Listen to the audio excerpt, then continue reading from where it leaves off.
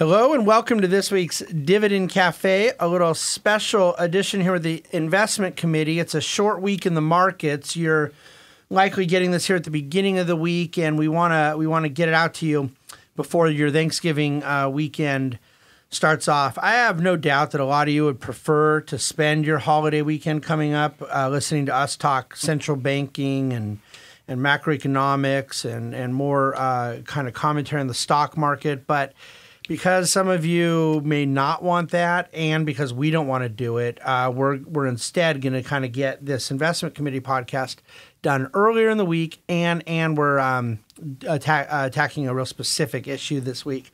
So I'm surrounded here today by Robert, Julien, Brian, and Deiya, and we are going to talk about the highly niche topic of the presidential election once again, and with a little particular emphasis on this new ascendant kind of climber in the polls, Mayor Pete Buttigieg. How many of you could have pronounced his name a month ago, three months ago? Two days ago. not. Two days ago, you were.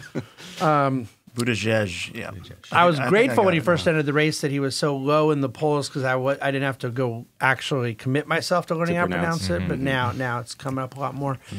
And, and we're not going to only kind of uh, uh, address that. I, I think we've already done the broader podcast that we had done on just the general approach how investors think about politics, let alone politics a year in advance of the election. And I think that that podcast um, covered a lot of the principles that we don't have to restate today, just in terms of investors sometimes letting their political uh, preferences get in the way of, of sound investment policy. It's a, a mistake I've seen plenty of people on the left and plenty of people on the right do. But more particularly, I want to focus just on on using uh, Mayor Pete Buttigieg's platform to kind of discuss some of the other topics that are at play and where they may in fact impact either macro or or company specific, you know, sector specific areas. So to really quickly set this up and why we're we're going to this candidate. First of all, Mayor Pete um, has no federal uh, uh, political experience, and that's not a disqualifier anymore whatsoever. Of course, our current president had no elected experience at any level of government. I think technically it's an it's an asset, right? I mean, It, it, it is for some. I mean, uh, it's not for everyone. That that's the interesting thing about populism and about anti-elitism is generally there will be someone out there that gets really excited that this person's not part of the beltway or not part of the what's the things Trump the swamp. But there's also plenty of people that say, look, I want folks with experience. I want someone who's been inside the machinations of government. So I don't know how to quantify that, but I think that there are some that's a negative one and some that's a positive one, and you probably end up at about a break even when all's said and done. Um, Mayor Pete's an interesting choice, by the way, for the anti-elitist because because on one hand he doesn't have the experience in federal government, and that's going to excite a lot of people, not part of the swamp, and he's the mayor of a a town in Indiana with 100,000 people, which is more or less the population here in Newport Beach. And Newport's around 90,000. Um, and I have been in South Bend, Indiana many times, of course, because I go out for the uh, USC Notre Dame game every other year. Now, how far South Bend from where you grew up, Robert?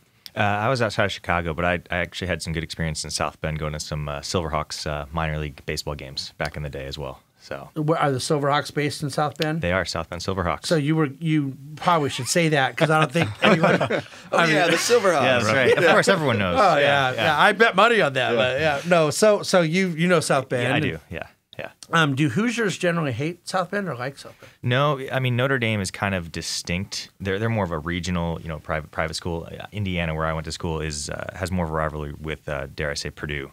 Uh, Oh yeah, so, sure, yeah. sure. Okay, fair enough. Well, I don't know. Um, he uh, what the point I was about to make was that he he has this anti-elitist things. He hasn't been in federal government, but he is a Ivy League guy, and I I want to say Scholar, Rhodes Scholar yeah, and so forth. military and Yeah, yeah, yeah. a high level. Like, so he doesn't exactly have this kind of Queens vibe, but again, a mixed bag of elitism and elitism is hardly new because who has ever better described it than the current president, who ran off of this red baseball cap? I'm the guy from Blue Collar America while he was taking a private helicopter to the rooftop of his Fifth Avenue apartment Yeah. where, where he lived.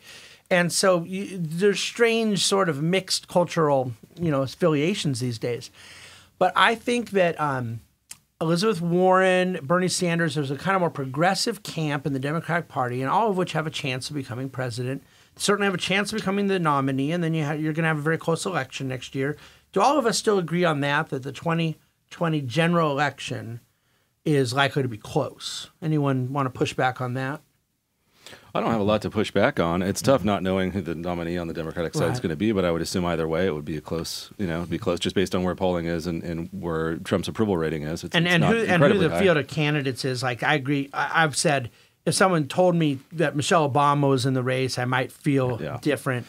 Um, or if the only Democrat running was, you know, just some uh, whatever, like uh, un, totally clearly unelectable candidate. But- Sanders, yeah. yeah, yeah. I mean, I, I think that um, that with Warren, she she was so out front of everybody else on different policies that we could come in as market people and investment people and look at her impact because she had 53 white papers on student debt, on healthcare cost, on on um, green, uh, you know, clean energy, uh, various spending initiatives.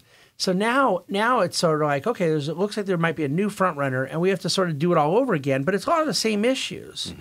So I guess let's start off. I'm going to give you guys a real softball, and then I'm going to dig into Mayor Pete a little bit on this stuff. Um, is there anything in the macro, in the way we philosophically would want to address 2020 investing, um, that is different in your mind than what you might have shared on this podcast? What was it a month or two ago when we last did this? Um, has anything changed? That now gives it more clarity or more conviction, more caution in terms of how we view what is still, one way or the other, a year out uh, for how we go about investing 2020. Deiya, you feel any different on the macro?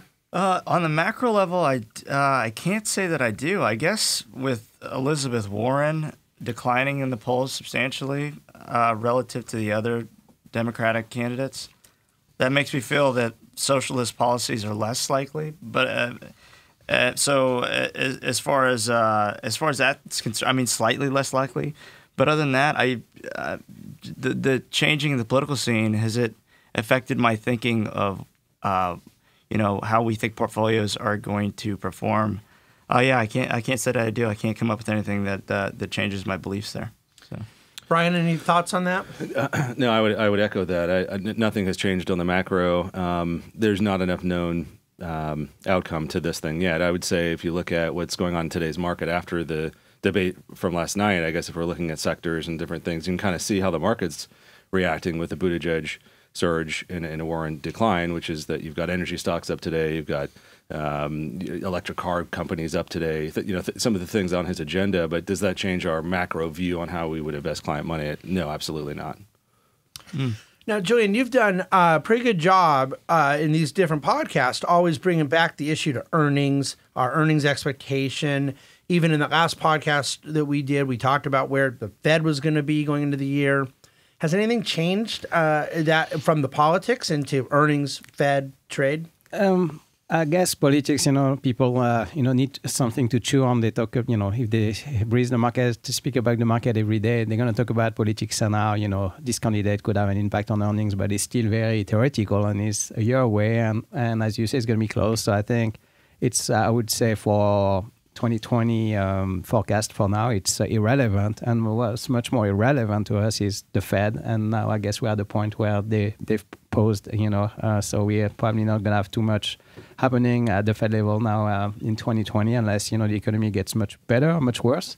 And, and then the trade war, I think, is really clearly number one. And, um, and that's, I think for me, that's the one macro thing that's clearly on top. I would put a, a on top, you know, at the at the top of the list, and then of course earnings. And so we just finished Q3 earnings season, and now I'm going to have to wait for, you know, mid-January for the next uh, set of results. Yeah, see, I agree completely. Uh, this is something I think a lot of people on the right would not like me saying, uh, but it is. I'm I'm right about it. If right now, we God told us Trump's getting reelected in a year, and the trade war is going to get worse in 2020, markets would go down. If uh, God told us the trade war is done, it's fixed, permanent, great resolution, and in a year you might have you're going to have probably Biden or Buttigieg. I'm leaving Warren out just to make it simpler. Okay, I think the markets would go higher, Yeah. and and so I think that the macroeconomic issue both in the sequence of events, but in the priority of impact to markets, is a bigger deal than the politics. Robert, what say you? I, you know, I think the the animal spirits result of, of tax reform hasn't been fully realized as a result of I think largely uncertainty around the trade war. So I, I still think there's some some you know coiling of that spring that we're waiting for. Um, on a go forward basis, you know, we we hope for that the, the unleashing of those animal spirits to be resulted in you know better earnings going forward, but we we can't control that. So I think you know it's. Uh, you know, I wouldn't say smooth sailing ahead, but we're, we're still just kind of in anticipatory mode at this point in time. I wouldn't say our outlook has changed. I think a lot of the uh, political uh, pr- presumed policies could, you know, incrementally adjust where we have preferences here and there, but I don't think there's anything really that we can steer towards right now. So, so I want to be able to use that as a segue right into a particular policy aspect that that Mayor Pete is right out in front of, and of course, all the Democrat candidates I think have said they would repeal Trump's corporate Right. tax reform. I mm-hmm. don't think there's any that said no, we want to keep that. Yeah. Um, but but before I do that, let's at least let our listeners understand why we're talking about this guy, Mayor Pete. Because in fairness, you know, he's not by no means the front runner yet. But look, the the betting polls when we use the aggregate at PredictIt.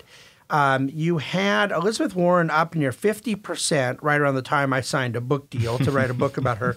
And she's now at 25%, still in the lead. Okay. Yeah. But you had Mayor Pete, um, who was sitting somewhere at around 5% just six weeks ago, seven weeks ago, is up to 19% in the betting odds for securing the nomination, not for being elected president. That's very interesting. Not just Warren's draw. It appears that it's it's uh, inverse correlation between mm-hmm. Warren and Buttigieg. Biden's still kind of around the same place. Sanders around the same place. So there's a narrative out there in the political punditry circle, but I think it's important to our conversation because I think it's mostly a right narrative. It's this battle for the so-called moderate lane mm-hmm. that really has everything to do with electability. Mm-hmm. That, in other words, people are not saying I like Pete better than Warren, or I don't like Warren, or I like Biden. They're all saying eh, who's gonna who's gonna win because their biggest priority is winning. And the reason I feel a little bit of empathy for for our, our Democratic brothers and sisters is that I think uh, myself being a Republican guy, I've gone through it in multiple elections where you're kind of like, oh, I like this candidate, but then you don't think he can win, so you move to another, uh, but your priority is winning the election. The entire Pete Buttigieg subject is not about Mayor Pete. It's about their their desire to have somebody they think can win. And there is clearly, even for people who might like some of Elizabeth Warren's stuff, there's a clearly a, a view that uh, that she's going to have a tough time winning. And so then comes Mayor Pete, and that's one of the things that's so hard about evaluating his policies is uh, what does he really believe? Well, it's tough to say because he's very wisely said, I got to go find this moderate lane. I'm not totally sure that he's as moderate as his marketing message is now. I'm not saying there's anything wrong with that. It's certainly what I would do if I were him. Sure. But when you look at so so okay, so all that to say he's he's increased in the betting odds and he's now essentially right at the top in Iowa. He's now running at 21% um, in Iowa, where Liz Warren, who had been at about 24, 25, is down to 18 or 19. Uh, so why does Iowa matter for a state? Last four Democratic uh, uh, candidates that won Iowa got the nomination, right? So let's talk correlation, causation, and this is fascinating. You bring this up. Thank you, Brian. Uh, you are correct. Al Gore won Iowa, got the nomination, lost the election. John Kerry won Kerry. Iowa, Clinton. lost the nomination. Obama won Iowa, won the nomination, won the election. Hillary Clinton won Iowa, won the nomination, lost the election. Four in a row, three of which did not win the general election, but did win the primary. However, you know, four in a row is not exactly rock. So if we had an equity characteristic that had four uh, out of six, we wouldn't necessarily call it rock so- solid. And and Harkin, who I forgot was even uh, uh, uh, around, um, beat Clinton in Iowa. And, and of course, Clinton got the nomination back in 92. And Dick Gephardt won Iowa in 88. And of course, Michael Dukakis ended up winning the nomination. So you had two in a row where it didn't hold up, and then you had four it did. But this is why I really actually think it's worthless. This is the Republican side. Why would Republican and Democrat be that different? Ted Cruz won Iowa. Trump got the nomination. Rick Santorum won Iowa. Mitt Romney got the nomination. Mike Huckabee won Iowa. John McCain got the nomination. So the last time that a Republican won Iowa and won the nomination was Bush all the way back in 2000. That's 20 years ago. Yeah. Yeah, I think there's there's uh, correlation of last you know Obama. Uh, Clinton, when he sort of won, you know, got ahead in the polls and kind of won, was going to win Iowa, and kind of surged from there and just sort of straight line up and end up kind of winning the whole deal, uh, winning the presidency. And I think that's sort of the correlation with what's happening with Buttigieg, perhaps. But the difference also is the South. You know, Buttigieg doesn't have the the support like those other people that you've mentioned did in the South, and that's a game changer as far as his winnability. You know, Yeah, so yeah, it's a um, good point. Yeah, that that the in other words, with the Obama precedent, he was already looking good in some of the later Yeah. southern states. Then he got the Iowa momentum, so he could parlay it. Where in some of these other cases, uh, like for example, with Ted Cruz winning Iowa, then he goes to New Hampshire and Trump just trounced everybody. Yeah. Where this could lead to more dominoes that, that fall. So one of the things he's campaigned on is the idea of getting rid of corporate tax reform. Robert just got done saying that um, we don't we haven't realized all the economic impact of the stimulative effects of the Trump tax bill. Julien talked about the importance of macro over politics. Uh, what do you think? Would he actually repeal Trump's tax bill? I think back to Republicans running over and over and over and over again about getting rid of Obamacare. And then the Republicans get in charge and they can't get rid of Obamacare. Could Trump's tax bill be a little bit more popular with Democrats now that it's passed and in law and the stock market's up thousands of points than some of them want the ones who voted against it would want to admit? Can you really repeal a tax cut like that? I think with some of their agendas costing so much money, whether it's healthcare or you know it, any of it, I, I think it's on the docket to get rid of to try to pay for it. You know, it's you know, so I think that they there's a, there's they would want to, and Buttigieg talked about that too. That's how he's going to pay for his healthcare plan. He's going to repeal the tax reform. It's 1.4 trillion dollars roughly. That's going to pay for it all, and then we'll be in the same place we are, you know, from a budget perspective, and we get better healthcare out of it. So I think it's on their agenda. Um, So could- you're saying it as a revenue raising thing, get rid of the corporate tax cut because it raises revenue if you get rid of it. yes. I can't possibly give Deiya a better softball than Go this ahead. one. Deiya, would giving getting rid of the corporate tax bill Yeah. put the economy in recession?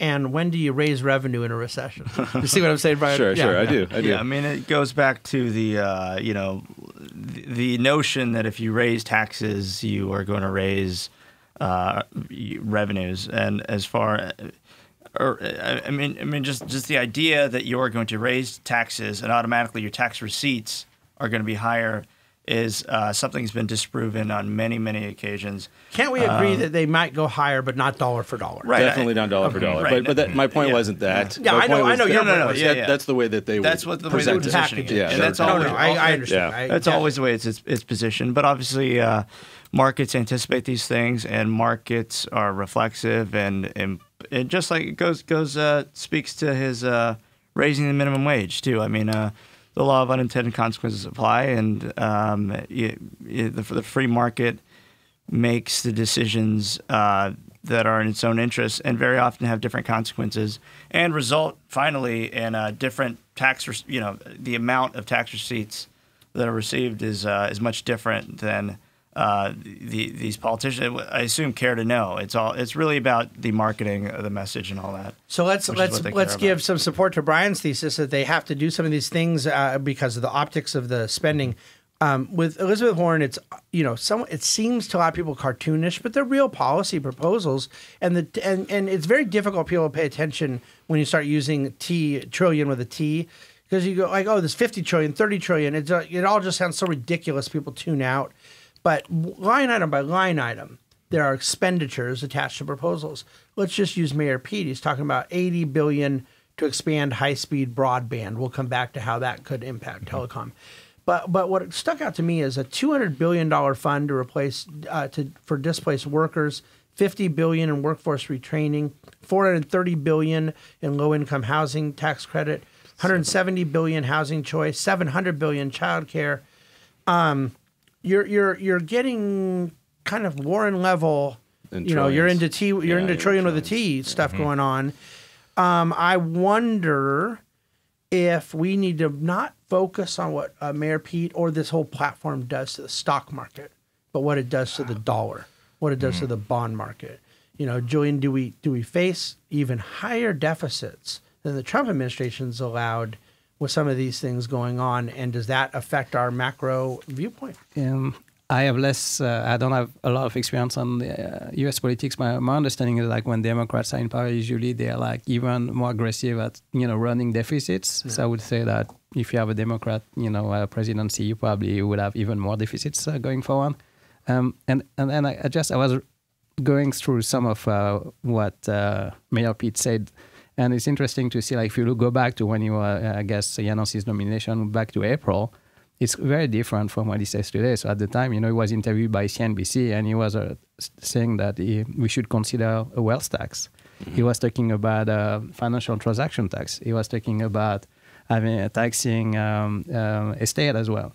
So I think it's, he's smart. Like he, he see a, space and he's, he's shifting his you know um, his policies yeah. based on that. So who knows what his policies are going to be in six months, right? Um, yeah, that's what goes back to that thing I said earlier. The market, the lane, the marketing, the, the, the lane moderate, that someone has to lane. be in. It's yeah. going to be hard to run in a class warfare message and maintain a moderate lane. There's a way. There's a way traditionally people have threaded that needle uh, Bill Clinton did it masterfully as a politician. I think that to be a corporatist and a populist at the same time is very tough to do. So you have to sort of find a different message. Yeah, yeah. Um, I want to stick with you, Julien, just from an equity research standpoint. This talk about uh, you, we of course own some companies. We're not going to say any names that are um, REITs in the high end mall space that are directly levered to to retailers. We even own a couple companies that have retail presence.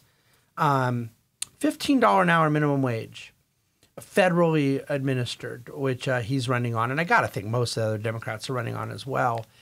Let's say something like that were to pass. It's passing in more and more states, anyways.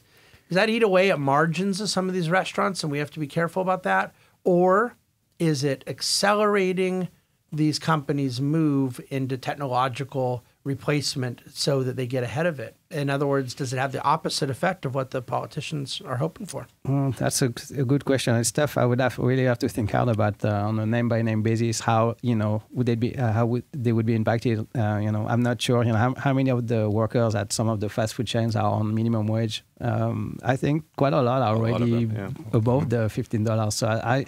Um, I, I I think it may not have such a big impact on most of the companies we own, really. But um, you know, I would have to really dig into um, into the names one by one. Yeah. Uh, do you think that um that right now with e-commerce and all the pressures we talk about, uh, this would be a good time to raise cost at restaurants and retail, and and uh, potentially force more kiosks and more automation uh, if the in other words, could it have an impact on the labor depart in the labor um, market at the lower end of the wage scale, Robert? I'm so it would it would definitely, in my opinion, not erode margins for a lot of these companies. People are going to move into uh, you know automation things like that. With with Mayor Pete, the one of the biggest shockers uh, around him with regards to some of these you know cost increasing policies.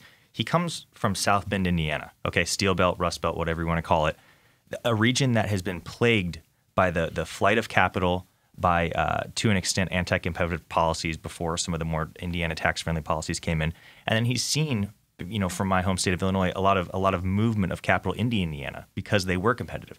So mm. I, I just don't understand when someone's going to run on being a mayor of a, of a small city. You know, they've kind of tracked along with the other uh, major cities in Indiana along uh, uh unemployment, economic growth perspectives.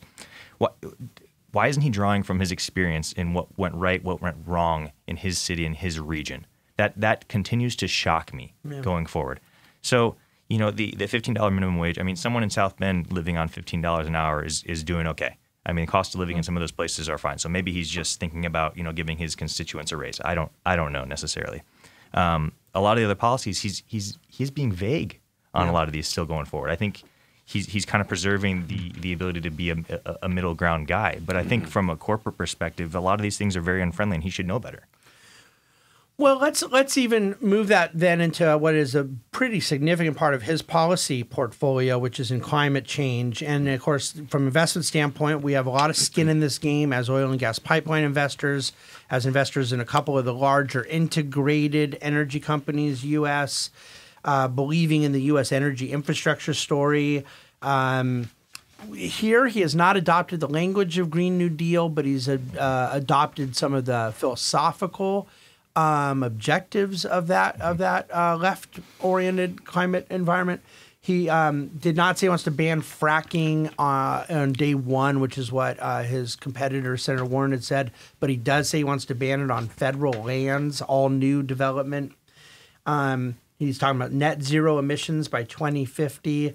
And then, and then I just want to read a few things so everyone gets an idea of why I'm asking the questions to, to my partners here. I'm about to ask a 250 billion with a B dollar fund for a global investment initiative to build U.S. clean energy uh, in China and other places. That sounds really generous.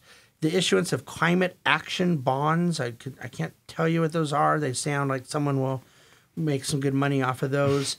Uh, an American Clean Energy Bank. That sounds lovely with a capitalization of 250 Yeah. billion. Another 100 billion in urban surface transportation over 10 years. Um, all these are separate policies. They're not overlapped here. These are line items. So again, you're you're up at that trillion dollar level. Does this um, make clean energy look investable to you or less investable? And for our purposes, because I define clean energy as natural gas, um, I'm going to accept his definition and pretend it's wind and solar only. Does that does all of this subsidies and federal government money make clean energy more investable or less investable, Dan? So, we're, are we going to assume that a lot of these, let's say he does get elected and, And he gets a lot of these things through. pa- pass? Well, for the sake of argument, we'll assume that. Okay. Well, uh, I uh, okay. So for the sake of argument, we'll assume that.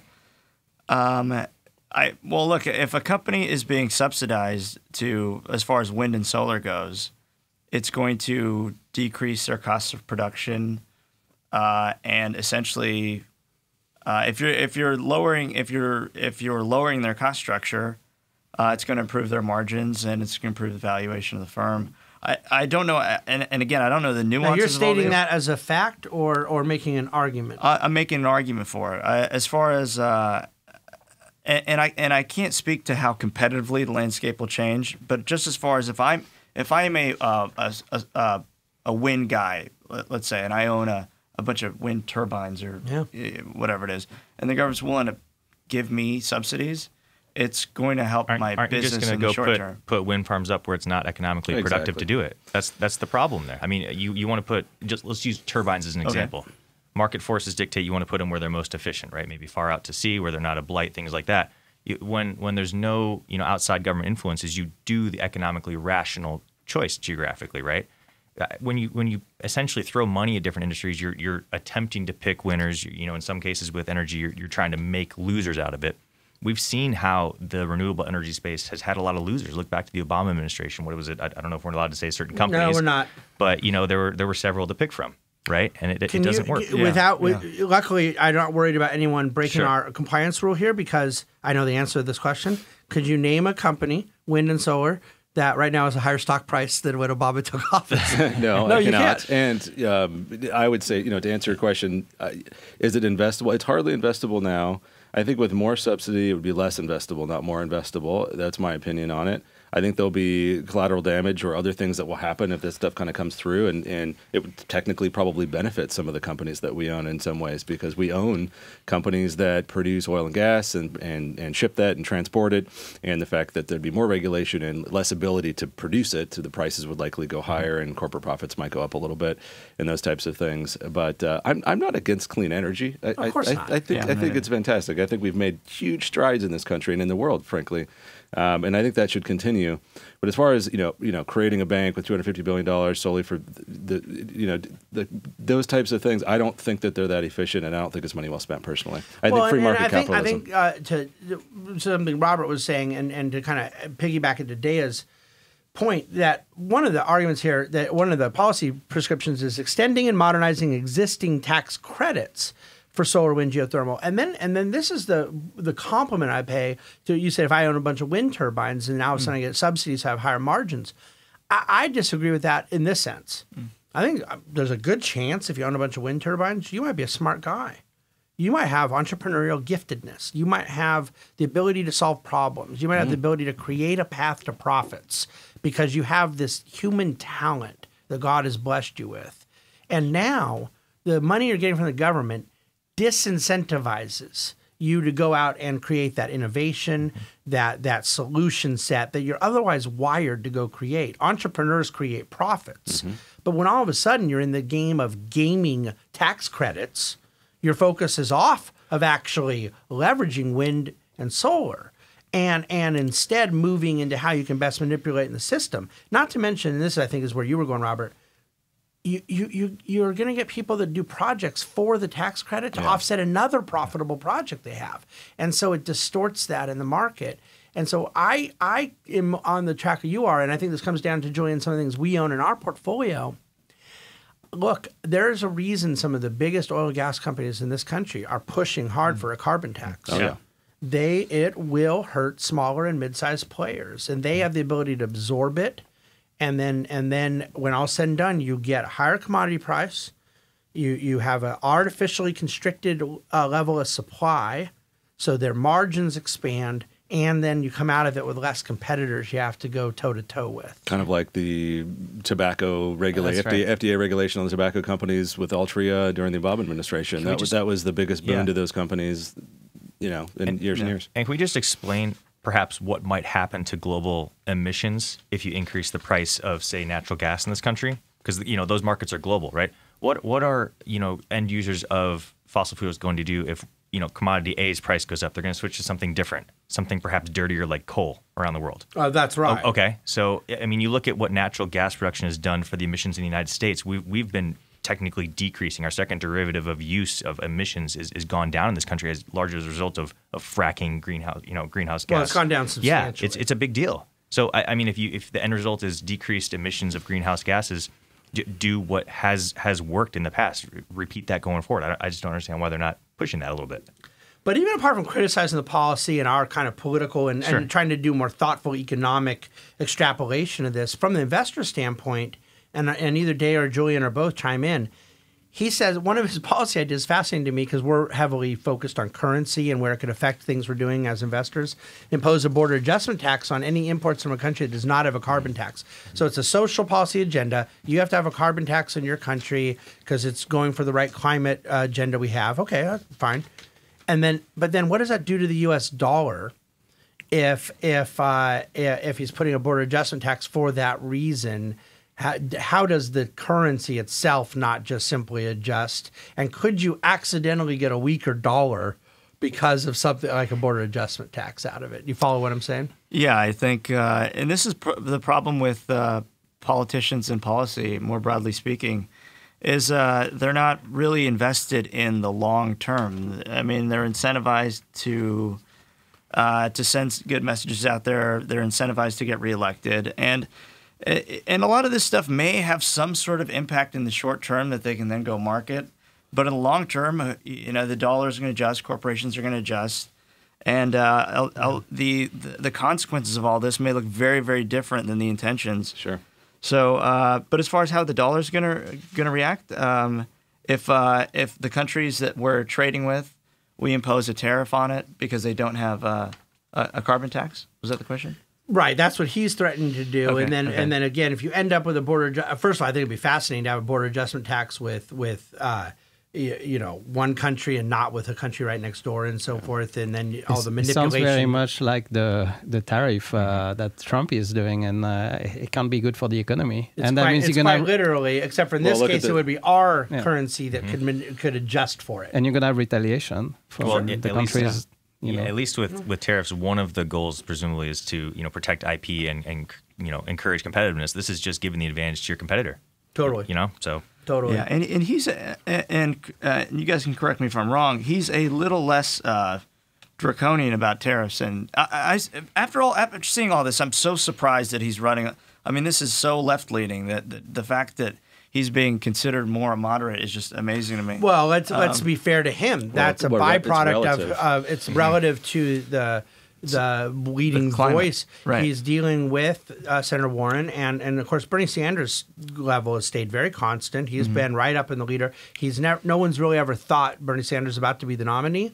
But he's never dropped into fourth, fifth, sixth place. It's Yeah. not like he's, you know, Kamala Harris or something. Yeah. Um, And to Mayor Pete's, um, you know, credit at least, with, whenever he's coming out with a lot of these policies, he's at least looking to be deliberative about it. He's saying, "Hey, this is maybe a policy I'm considering." Instead of you know, I'll pick on Warren. She comes out with these plans with completely flawed inputs and assumptions to it, and I think that's been transparent uh, these days. Um, so, Julien, let's talk investment side of, of taxes. This is very interesting. You pointed out he had uh, past talked about like you know a financial transactions tax. Um, he's open to the idea of a wealth tax, but he hasn't put meat on the bone the way that Sanders and Warren have. However, he's the only candidate I've studied so far who has said I will go straight for a higher marginal tax rate. And ironically, Yep. you guys know Elizabeth Warren has not suggested that. Now, she hasn't needed to because she's talking about tripling the payroll tax for people over 250,000 and she has her all of her other tax portfolio, but he's actually suggesting a higher marginal rate. And then the other part I, I'm paying attention to for our purposes, he has not come out with any suggestions around capital gains or dividends. Uh, are dividends um, now thought of as sacrosanct? They can't touch it, or or is there a possibility that the net, the present value of our dividends that we invest in could in fact be impeded by additional taxation? Are they, they kind of linked uh, as far as the discussion goes to long-term capital gains tax? Um, well, in theory, in the- they are right now in current tax code, but that's not inherently true. They never were until the Bush second tax cut. Uh, capital gains always had um, their own different tax rates over the years, and dividends were taxed as ordinary income. Right, but in this current climate of thinking, do people think about them in one and the same as far as? Uh, Yeah, I mean, it's hard for me to answer. They think about them as one and the same Okay, because the last two tax bills that came out treated them one and the same. That was Bush in 2004. They both were taxed the same Hmm. at a 15% rate. And Obama fiscal cliff resolution in 2013, they both were kept at 15% with a 20% kicker over $450,000 of of income. marriage, marriage income. So I guess, Julien, would you think differently about the value of our dividends if the tax on dividends went higher? That's just a generic question. Um, well, I guess uh, yes, you would look at it on on a net basis. Um, you know, if uh, if uh, you know net to you is going to you know instead of being fi- taxed at 15, it becomes 25, 35. I guess on a net basis, uh, that's what we. Uh, uh, I guess All it right, would. You're, you're, you're, you're taking the easy way to answer. I'm going to make it hard. Yeah. Would it make the value of those dividend stocks more vulnerable? Um, so I you- never you ask cha- a question that I don't already know the So answer if you if you change the tax specifically just on dividends, yeah, if the dividend tax rate went higher, would you With think dividend would you think dividend stocks would go lower? well, I think that yeah, they they would be impacted. Yes, they should. You know, relatively to the rest, would uh, would go lower. Uh, yeah, Seems So- logical, so right? I- Seems logical. Yeah. Brian? I would- I would take the, being but equal. this is what makes a market, I guess. I would take, take the other side of that. I mean, I think anytime you do something across the playing field like that, on a relative basis, what has really changed? Not much. I mean, you've got a dividend stock that's growing, that income paying back to shareholders, that's still going to happen, albeit it'll be taxed at a higher rate. But that versus a company not doing that, there's still value in that. And so I don't know that it would inherently send the prices lower. I don't know that it would really change our, our strategy that much. I, I guess I'd have to look at the tax code and what things changed, but uh, the philosophy I think would still hold true. And by the way, dividend tax rates have changed a ton over the years, so they're, they're very attractive now. The but high tax rate on income. dividends, the high tax rate on dividends for uh, several years into our career was 39.6%. Exactly. And- President Bush lowered it to 15%. That's virtually a 65% reduction. Did dividend stocks go up when that happened more than the rest of the market? Not really. No, it did not. Okay, so- But that was so also why, growth so why versus is the value. inverse not true? Sure. So so let me uh, let me let me take the not the other side, but maybe There's a the, third side? There's a Third third, way. you got the fourth way covered? got on- it. Yeah. there's a third side. Um, so it, are you saying that if no other nothing else in the tax code changes besides the dividend uh, tax rate, long term cap gain stays the same, short term cap rate. I'm happy uh, to pretend. I'm happy to pretend that. Okay, happy to pretend that. If everything else were to stay constant, which I don't think would happen, I- it, I mean, it's hard to imagine uh, why there won't be a slight multiple reduction on dividend stocks, just given that there's. Uh, okay, here's what I'm saying. I I still think that it's going to be very attractive, and the fact that the companies pay dividends, all those things, same things still apply. But if there's a higher tax rate, I mean, think about how we're going to make adjustments in our portfolio. Uh, we're going to probably think more about asset location. right? If uh, dividend uh, dividend income tax rates are higher. Depends on what those tax rates go to. I, I'm Uh, okay, assuming it's okay, like a five percent Okay, increase. okay, when- okay, yeah, If they sure. tax them at ninety nine percent or something. Sure, I'm saying like a, dou- a doubling Yeah. of the tax. Rate. okay. Uh, Yeah, that's a Well, lot. even the corporates would probably do something. I mean, they Right, would I- do more buybacks, maybe, I and less assume, there, I assume there would be some sort of uh, repricing. And now, this is with the caveat that nothing else in the tax code changes whatsoever. Um, if, if, I mean, if you think about the uh, what va- what's the valuation of an asset? Do you the know, valuation do you know what they're all asset- missing, or do I? Am I No, going no, to I, chime in? I, I, I'm, I'm waiting for I'm waiting for you to respond. I mean- but if you think about the valuation of an asset as the present value of its discounted future cash flows on an after-tax basis, Seems that's, logical. That's going to that's going to be less. So, So, again, uh, I'd go yeah. back to my Yeah, other the- question: well, is why inverse it didn't didn't happen. inverse in 2004, Um, okay, or so- not even close. Uh, no substantive connection. Yeah, None. yeah. So I, I didn't know what else was changing in, in 2004. Uh, Well, the Well, dividend the- tax rate dropped substantially. Capital gain tax rate barely went down at all. Capital gains were already at 22%. They came to 15. Dividends went from 39.6 to 15. Um, and and so the the reality is that even when dividend rates have gone higher, you haven't seen it affect dividend stock pricing in the past. And when dividend stocks have gone lower, you haven't seen it benefit them either. But uh, i you want a chance to uh, guess where I'm going, or do you want me go, just to? go ahead, Robert. I was just going to say on a relative basis, where would I want to put my money in a in a less competitive environment? It's going to be the the more stable companies that have been paying dividends going back. That's what I would say. So I, I would presume their prices to I, I don't know if I call it rally, but perhaps rise a little bit as a kind of a internal market safe Love that, haven. What is the tax- contrarian Yeah, play on it. I would actually agree with you. I actually, Julien, think what they is the tax on dividends for someone who owns stock in their IRA? Zero. What is the tax on dividends for someone who owns stock in their 401k? It's actually Zero. Not zero. Profit sharing plan. It's a deferred ordinary income. That's what it is. zero, zero, No, zero. no, the actual no, answer is it's deferred ordinary. That's income. incorrect. That is the wrong answer. The answer is the tax is zero. So you're saying You do not most, get taxed on the dividend. That's true. You get taxed at withdrawal on the withdrawal. That's right. So, are So you what saying the that most tax- of the money that's invested What is the tax in endowments? Which is forced. What is the tax in endowments? Zero. Zero. Pension funds. Zero. Sovereign wealth. Zero. Okay. So this is the answer that the democratization of stock ownership is so unbelievably skewed against taxable accounts that it is um, Do you know the split?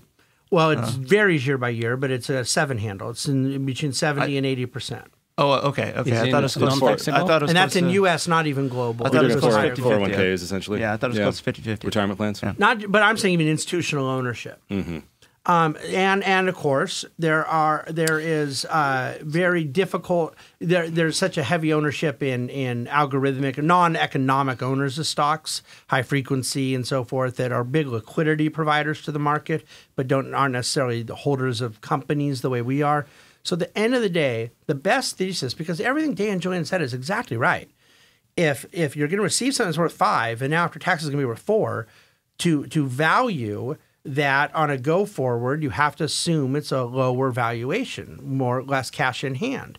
However, that is not proven to be true. So therefore, we don't get the luxury of saying, well, it's supposed to be true, therefore it will be. It hasn't been. So we have to answer why. And the best answer I've seen is that taxability in, in accounts, it's a ma- it affects us. Like from a financial planning standpoint, we're going to tell a client, hey, you're going to have 200 grand, and now we got to tell them you're going to have 190 grand. Mm-hmm. That affects their pro forma.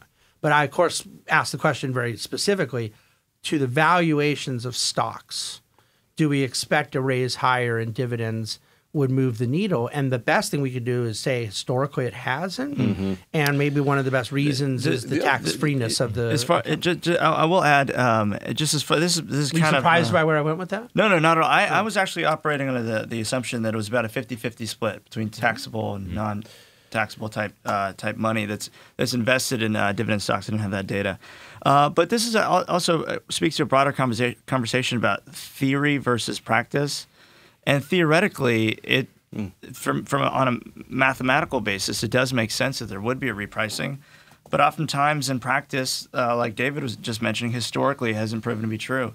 So there's always uh, these challenges in capital markets that we have to deal with. I agree. just I think one of the other things that that brings to light too, when you were asking about how Buttigieg has, you know, but or maybe Julien mentioned, you know, there's a state tax. Uh, he wants to make it more equitable, whatever that means. Then there's, uh, you know, top tier tax bracket going higher and those types of things. But dividends and capital gains aren't really touched. Well, we kind of defined probably why that could be, which is it doesn't really raise tax revenue all that much if all of those, as David said, you know, those dividends are taxed inside of retirement accounts and pension accounts anyway. What's the real point of doing that? Doesn't really, you know, it, it hurts prices potentially, and it doesn't really bring a whole lot more income. So why do it at all? Yeah, I also uh, would say a really contrarian and kind of unprovable, but also unfalsifiable theory of mine. The second you raise taxes on dividends, you can start repricing the fact that one day they're going to cut the taxes on dividends. So you're pricing into the future, the future dividend cut that's coming once that happens. Every election cycle gets You a know. rally with the Republicans. So, so uh, Julien, I know there's a lot of commentary around this, and I must be a little frustrating because I know the American politics theme is not necessarily the thing that you would spend a whole lot of time thinking about, or has been a driving factor in, in your research process throughout your career. But when you look at anything that you've studied and we've kind of discussed as an investment committee, Mayor Pete or any of the candidates running, Donald Trump for that matter, is there something in the fiscal agenda of the 2020 election that strikes you as an immediate catalyst to portfolio rethinking? Um, not really. I mean, I guess at the end of the day, the the the one thing that uh, I'm most interested in is, uh, you know, if if there's any chance uh, a Democratic uh, president, and if they have, if assuming they have majority as well to get that voted, could repeal the tax cuts that uh, that uh, uh, Trump did, and that could have a significant impact. But Sure. it's way too early. Um, to um, to have a view on that. As you said, you know, it's going to be a close election, I guess, or who knows. And and then, as you say, even if that was to happen, we're going to again maybe uh, four years later we would reprice a new a new tax uh, tax cut. So Sometimes two years later. I mean, that's the thing that's so interesting. Like, I go back to because I learned a lot from it personally when President Obama was reelected in 2012. And you had this very ahistorical reality that a bunch of these Bush tax cuts were going to expire, and they called it a fiscal cliff. Go look at what the market did Sure. in December of 2012, going into 13 sometime, and then look at what the market did in 2013. It's huge. Thirty percent. Thirty percent. massive. Yeah. And the reason being that uh, you could think, oh, a Democrat who likes taxes got elected, or someone who likes taxes got elected. That doesn't mean that they're going to be able to go forward with that policy proposal because at the end of the day, most of the people they're smart enough to get elected president, and not necessarily smart in an intellectual way, but savvy enough, street smart enough to get elected. They also are savvy enough to realize if I do something that's going to completely screw up the economy or the perception of the economy, that's why the dividend tax cut. It's not going back to thirty nine point six. I just don't believe it. The risk reward is The- there's not the a lot of tax seniors- revenue. The amount of senior citizens that are getting ta- dividends from utilities, mm. and all of a sudden we think they're going to triple their tax on it. And, and by the way, we've already tripled their tax. How did we do it? We brought interest rates from their CDs Oh, from right, five sure. percent to mm. one percent. yeah. Well, So, they I mean, lowered, their taxes, but it decreased their income. There you go. Thank you. But I mean, who's pushing Granny off a cliff in a wheelchair now, Yeah. right? You're, you're, they can't get any money as savers, and then you talk about raising those taxes. I don't believe it. But but um, let me let me do this to kind of close this up a little. If we were being intellectually honest, we wouldn't do another uh, investment committee podcast on Mayor Pete or Elizabeth Warren, and we're not going to do it. But what we ought to do is uh, investment committee podcast on Cory Gardner's race in Colorado, Susan Collins' race in Maine, um, uh, uh, Martha Mc- McSally's race in Arizona.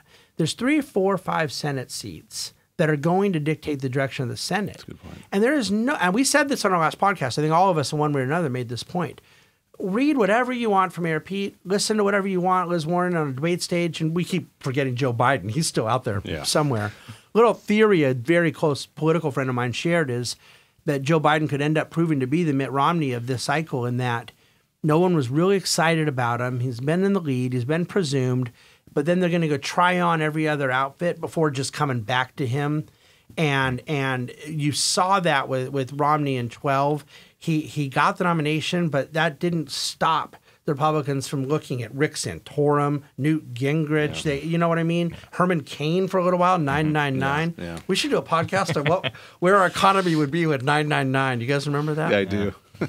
But but uh, do you know what we're talking about 999? no, no idea. no idea. Yeah, we, we can share it to you offline. It was it's not a something that we're real proud of. Is uh, well, no, I think that that's the point. Is what's the point of interpreting the presidential side when you don't know the way the Senate will go? And and there's three, four, five Senate seats that are really going to make a big difference in what kind of moral authority, political capital, intellectual gravitas, and most importantly, legislative math that anyone who wins is going to have going into 2020. I'd even flip flop that. What if the Dems do take the Senate, but Trump keeps the White House? That's not impossible. That Yeah. could happen. Mm-hmm. And and mm-hmm. so all of those things are going to create a very different dynamic, and it does help us conclude to the point that we've all been stating. You can't form investment policy out of these things. It's one thing if you had to bet on who will win the presidency, which uh, which is pretty much impossible to do. I think.